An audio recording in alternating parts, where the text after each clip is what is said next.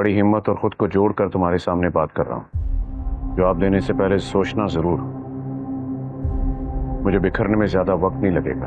क्या मतलब निकाला है तुम लोगों ने? बताने की ज़रूरत है क्या? ऑब्वियसली उसी का सेकंड स्टेप है जो वो कर चुकी हैं। मुझसे गलती हुई है मुरीद आपसे माफ़ी चाहता है। नहीं तुमसे कोई गलती नहीं हुई। इस मामले का अंजाम यही है मुरीद करीम जी। हमारा अगला प्लान जरा सा भी लेट हुआ ना हमारे लिए मुश्किलात बढ़ेंगी। और इस वक्त जो असमा की जहनी कैफियत है वो खुदकुशी कर लेगी। नहीं